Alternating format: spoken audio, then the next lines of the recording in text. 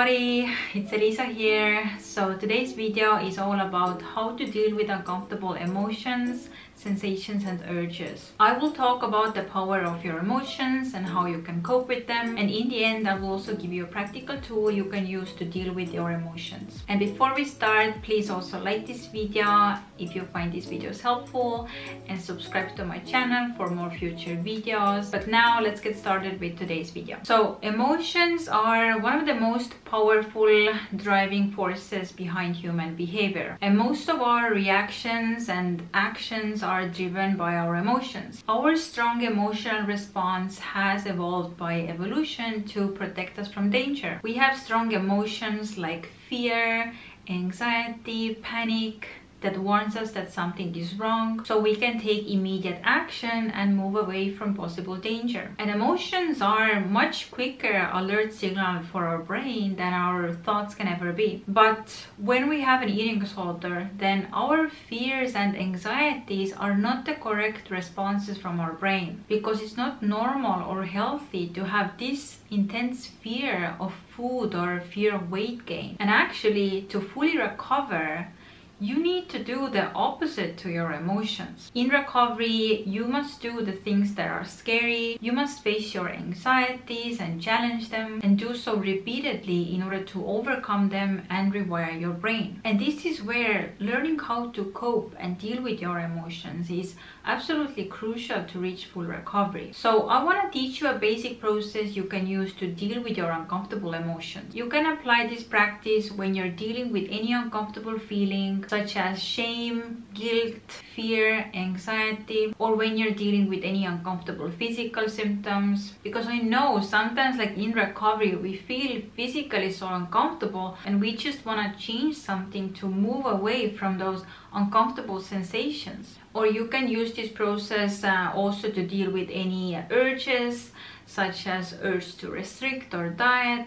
urge to purge, urge to over-exercise, or compensate your calories or just urge to use any other eating disorder unhealthy behavior. And the basic principle of this exercise is that we are not trying to make anything go away or change anything. We are not trying to numb from it or distract from it, but instead we fully allow our feelings without judgment. So the goal is not to make the feeling go away or to change it, but actually to accept it. And I know this can feel very confusing because like why on earth would we want to willingly accept and allow those uncomfortable emotions and sensations? Firstly, the more you try to make something go away, the more it actually grows in power.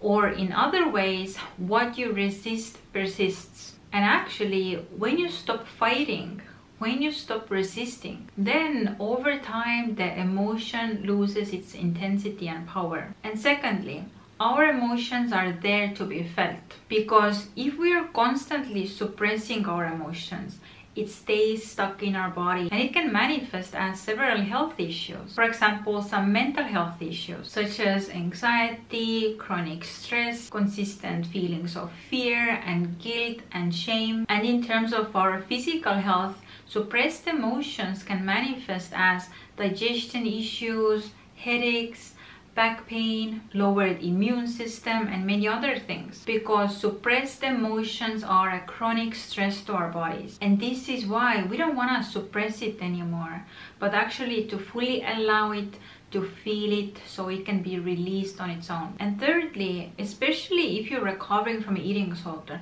you want to be able to allow your emotions and to sit with them instead of constantly reacting or acting in eating disorder ways. So you can increase your tolerance to your emotions. Because, for example, if you are in eating disorder recovery and let's say you have to eat something and then you have this very strong feeling of guilt, and if you're not able to sit with that emotion, but instead you react to it in eating disorder ways. You act on it maybe by wanting to diet or restrict or maybe compensate. Then you will never recover. Because as we said earlier to recover from an eating disorder you actually have to do the opposite to your emotions. You have to challenge your fears. You have to face your anxieties. So in this sense being able to feel your feelings and sit with them instead of trying to make them go away is an essential skill you have to master if you want to take consistent pro recovery action. And before we continue with the practice, I want you to really like use your own best judgment in whether this practice would be good for you right now because we are all different. Discuss it maybe with your treatment team or your doctor or maybe your therapist because sometimes we do need medication for our symptoms or sometimes we do need to talk to a trained professional about how to deal with our emotions. But now let's talk about the technique. Expansion is a technique that helps you to sit with your uncomfortable and difficult emotions to fully feel them and allow them without judgment. And this way, you're no longer fighting with your emotions, trying to suppress them or resist them or numb from them that can actually make the emotions and feelings worse long term. And expansion consists of uh, four steps observe, breathe, create space, and allow. And this technique is from a book, uh, The Happiness Trap by Russ Harris and I really recommend you to read this book as well. And I have also created a downloadable meditation uh, that you can download maybe to your computer or to your phone and listen with your headphones. So if you're interested then that uh, link to the file will be in the description. So now let's start with the process and uh, if you want you can maybe find a place like comfortable place where you can sit or maybe even lie down and you can also close your eyes if you feel it helps. So firstly Scan your body from head to toe. Notice any uncomfortable sensations in your body. You will probably notice many of them, but pick one that bothers you the most. And now just notice the sensation and describe how you're experiencing it. Maybe it's the knot in your stomach, lump in your throat, tightness in your chest. And focus your attention to this sensation with non judgmental awareness. Observe it without judgment, but with curiosity, like a scientist. Notice where it starts and where it stops. If you had to draw an outline around the sensation, what shape would it have? Is it on the surface of the body or inside of you? Or maybe both? How far inside you does it go? Where is it most intense? Where is it the weakest? How is it different in the center from around the edges? Is there any pulse or vibration? Is it light or heavy? Warm or cool? Moving or still? What color is it? Does it have any textures or patterns? And now breathe into and around the sensation. Take a deep breath in and breathe out deeply by completely emptying your lungs. Take a deep breath in and breathe out. Slow deep breathing helps to lower the tension in the body and make room for the sensation. It won't get rid of the feelings or sensations, but slow breathing is like an anchor, keeping you steady in the middle of an emotion storm. It won't get rid of the storm, but it will hold you steady until it passes. So breathe deeply and slowly. And imagine your breath flowing into and around the sensation. And now, as you are breathing deeply in and out, then imagine like you are creating more space to the feeling. More space in your body for the sensation to be and flow freely without any restrictions. You open up space to it and give it plenty of room to move and just be as it is. If the sensation gets bigger, you give it even more room. With each breath, giving it more space and room in your body.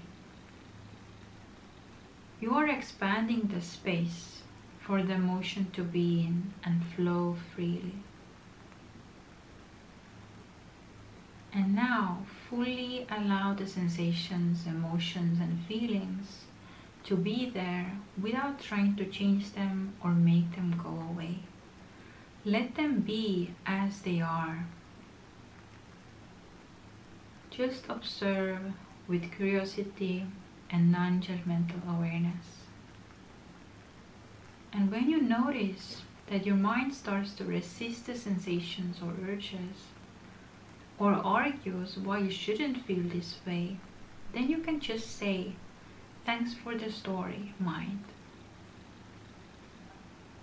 And continue just observing the sensations, breathing into and around it, creating space for it and allowing it. Say to the emotional sensations, I hear you you are allowed to be here. I welcome you unconditionally. I am completely here for you now. It is safe to feel. I am safe feeling this emotion. And deeply breathe into it Remember, the intention here is not to get rid of the sensations or alter it. It may change on its own, and that's okay.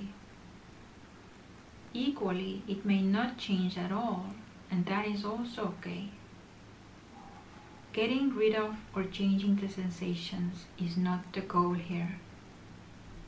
The goal is to make space for it, to allow it, to let it flow through you without getting stuck, to make space for it and to just let it be as it is. So, if you feel ready, you can slowly come back to the room, awareness of your body, and open your eyes. And this is the whole process. How did you like it? And I have created a downloadable meditation that you can download maybe to your phone or to your computer and listen to your headphones. So if you want to have the file, then the link will be in the description. And at first, it can be quite normal that the emotions may seem a little bit overwhelming and quite intense. So feel free to maybe start practicing this uh, with maybe a little bit less intense emotions first. But firstly, the more you practice this, uh, the better you get with this process. And secondly, the emotions that are felt can also be released so they stop piling up and I truly think that doing this regular, almost like emotional self-care will make you emotionally healthier, but also emotionally more resilient. And the good news is that actually doing this process, it doesn't necessarily have to take a long time not this long maybe even as we did it in this video but for example when i practice this maybe it takes me sometimes like even one minute where i just uh, notice the emotions or the sensations I breathe into it, I create space for it, and I just allow it. It really doesn't have to take a long time. I don't even need to be lying down for it. I don't need to be completely alone for it. I don't need to close my eyes for it. You can just practice this with a little bit of awareness. And with practice, I think you as well, you can start to do this process much quicker and still have the same benefits. So this is it for today's video. This was the practice. I really hope you found it helpful and if you want to know more about recovery then please check out my book step by step how I reached to my full recovery. And also on my website I have few online courses for eating disorder recovery so you can check out them as well. And all the links will be down in the description and please like this video if you find it helpful and also subscribe to my channel and have the notification bell on for any new future videos. So thank you again for watching and i'm gonna see you next time. Bye